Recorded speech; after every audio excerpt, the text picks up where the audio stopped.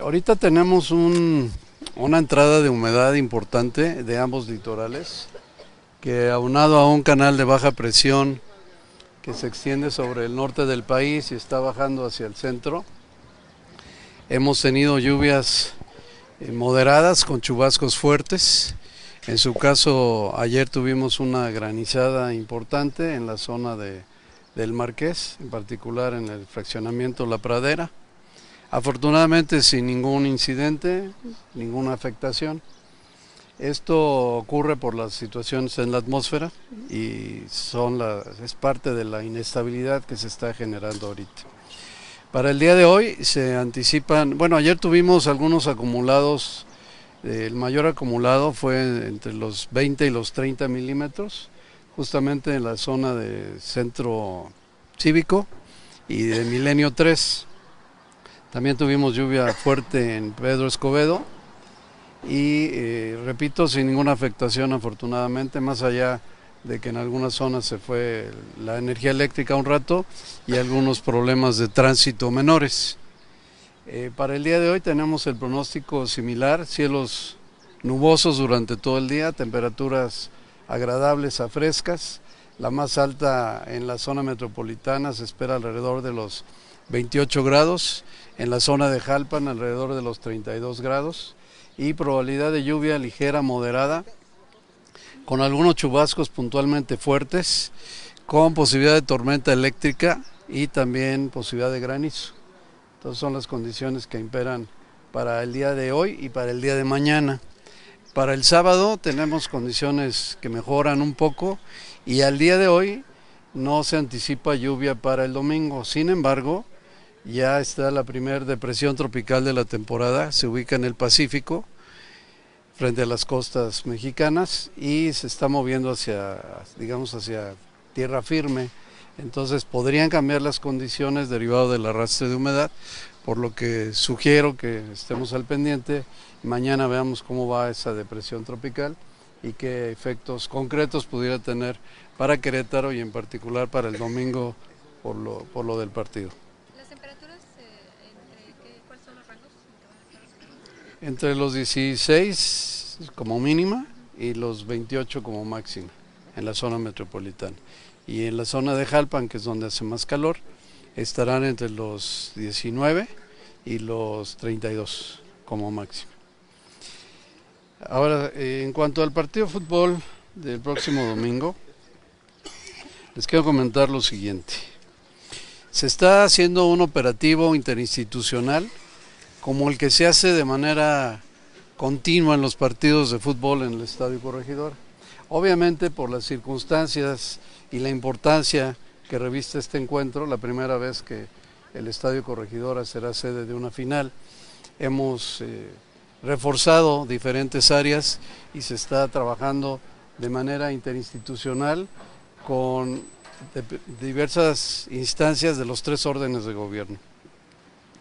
Lo más importante aquí para nosotros es trabajar en el antes, el durante y el después. ¿Esto qué significa? Pues que hemos venido teniendo numerosas reuniones para planificar desde, desde ahorita o desde días anteriores cuáles son las condiciones de seguridad en todo el inmueble, en los alrededores y todo el operativo. El durante es cuando está el partido y cada quien tiene que establecer una serie de actividades y reforzarlas para garantizar la seguridad de los, de los aficionados. Y el después, pues es que las personas puedan desalojar con rapidez, con seguridad y que en su caso, y esperemos que así sea, los festejos que se pudieran dar también pudieran ser en condiciones de seguridad y de respeto. Aquí exhortamos a la población en general, como siempre lo hacemos, a la no violencia.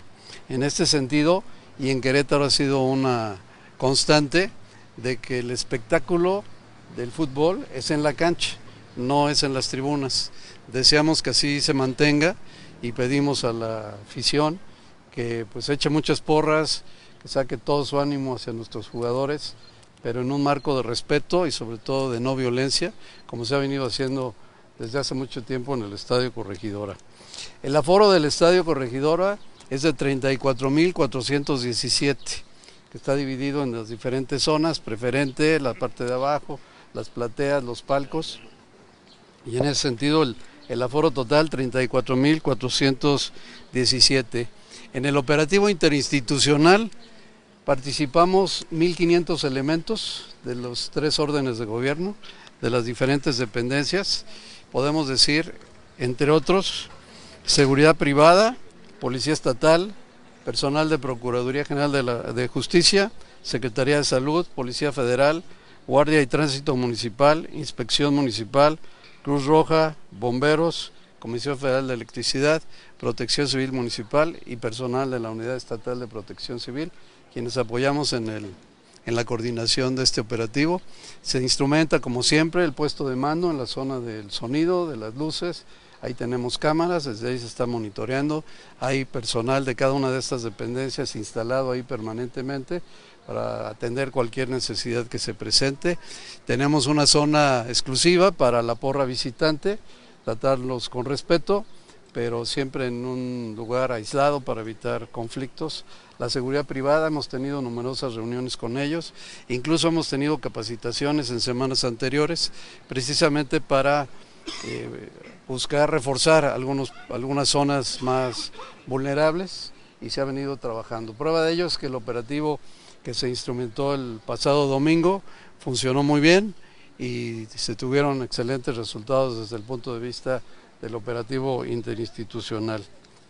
Aquí el llamado que hacemos a la ciudadanía es un llamado a la corresponsabilidad a todos nos corresponde una parte de la responsabilidad, por supuesto a las autoridades, y lo hacemos con, mucho, eh, con mucha entrega, con mucho profesionalismo y con el deseo de que todas las familias, porque es un espectáculo familiar, vayan al estadio, se diviertan, disfruten un espectáculo deportivo.